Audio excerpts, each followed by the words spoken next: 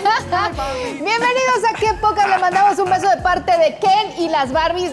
Y el día de hoy que le traemos chisme sabroso. Déjeme decirle que Elizabeth ya salió en defensa de Jorge Salinas. Le preguntaron si es cierto que están al borde del divorcio. Vamos a escuchar qué dijo.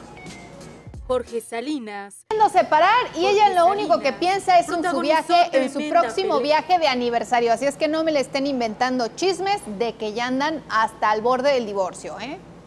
Y es que ella compró el numerito. Es cuestionada sobre cómo sigue su mamá tras la separación de Michelle Curie y ella sí nos contesta.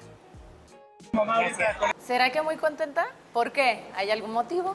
¿Qué- ¿Cuáles son las razones? A lo mejor también los hijos quieren que los papás estén juntos. Y es que todo mundo anda diciendo Y es que que, ¿sabes qué? No hablo de más, porque imagínate donde meta la otra pata. tendría que andar en silla de ruedas.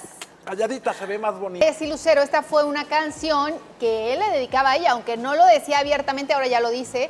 Y ella ahora lo acá en la postura, o sea, que no está ni siquiera motivada a encontrar una razón de su condición que está ¿Feliz que cuando estaba con Belinda? Sí, Con, con Belinda lo sentía orgulloso, lo sentía ego. dichoso, presumido. Claro. Hoy lo veo la persona, lo Pleno. veo contento, en plenitud. pleno, Sí, se ve Bueno, pleno. es que creo que Casu sí lo ama de verdad. acoplado. Acoplado, en pareja, en equipo. Y a quien también vemos muy enamorado y nos da muchísimo gusto es a Peso Pluma, quien nos sorprende que en un concierto ahí le mandó un mensaje a una cantante famosa. ¿De quién se trata? Vamos a ver. ¿Colaboración entre ellos dos?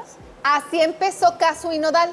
La invitó primero Nodal a Casu a subir al escenario y luego anduvieron por todos lados. Los estoy viendo igual que están apostando por la salida de Apio. Todos están, bueno, por lo menos Sergio, este, Wendy y Poncho eh, a favor de que Apio salga como el más nominado. Yo creo que sí es de los más débiles de, al momento, de los últimos que quedan del Team Infierno, y inclu- incluso él lo sabe, no por nada se iba a aventar como Juan Escutia por su equipo. Está entre Apio y Nicola. Nicola tiene miedo porque dice, yo no soy mexicano, no van a votar por... No, A ti te gusta y entre gustar que te caiga mal hay una diferencia.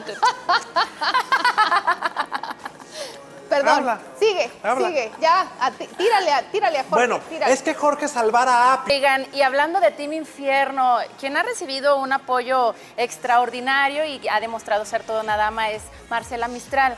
Pero ha habido quienes están en contra sobre este apoyo y es que dicen que ha dado información de más a la casa. No sé si vaya a resultar alguna penalización, pero la verdad es que sí, muy padre tu apoyo, pero que jueguen limpio, ¿no? Sí, no, no, no, no le puede pasar información de aquí para allá, pues de eso se trata, de que estén aislados, que no reciban influencia. Por cierto, en El Salvador fue grupo firme porque, ay, parecía que todo estaba en su contra. Ah, ¿Le están haciendo brujería? Isabela Camín nos cuenta sus pretendientes famosos cuando regresemos aquí en Qué Poca.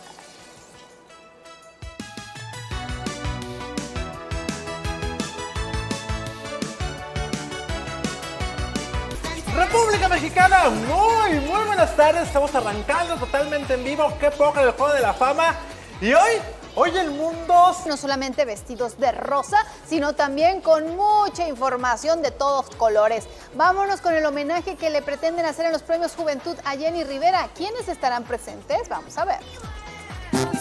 Y a pesar de los malos momentos que ha pasado toda la familia Rivera, pues bueno, vamos a ver ahora qué opina don Pedro Rivera a través del tributo que le darán sus nietos en Premios Juventud. Es lo más hermoso. Tan famosa, tenemos a nuestra favorita, Wendy Guevara. Así como muchos la queremos, también hay otros que no la quieren ver triunfar. Y es que en redes sociales ya Pero bueno, las prácticas oscuras suelen darse mucho en el espectáculo, en la farándula. Hay muchos famosos que han sido acusados de practicar la brujería. Han sido varios veíamos hoy por hoy el Team Infierno jugando a ser los malos de la casa. Pero una vez que salgan, ¿cuál de ellos será el bueno de la película? Vamos a ver.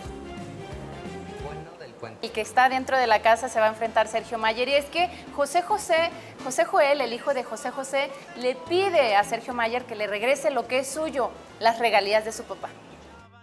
Este, las principales. Bueno, que le regrese lo que ellos consideran es de la familia, porque pues no tendría por qué Sergio Mayer seguir cobrando las regalías, ¿no? Pero bueno, vámonos ahora, ¿qué pasa dentro de la casa de los famosos y el apoyo?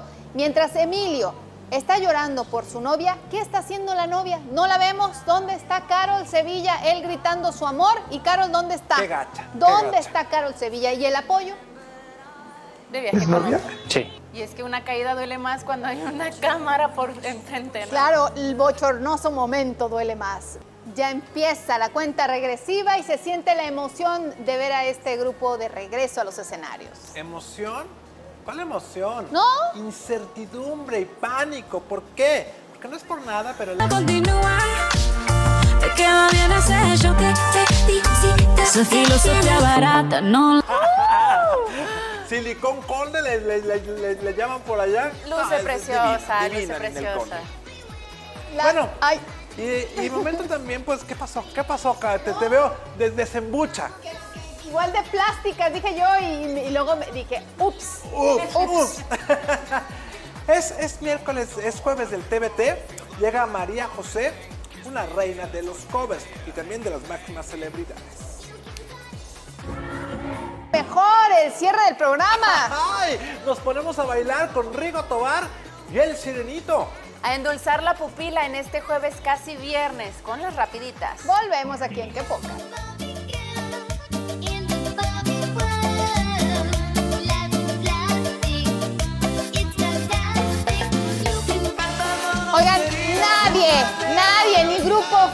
Los fabulosos Cadillacs, nadie ha podido superar el récord del ídolo de las masas, Rigo Tobar, en asistencia a un concierto. Vamos a ver por qué le llamaban así, el ídolo de las masas. En el mismo canal, a la misma hora.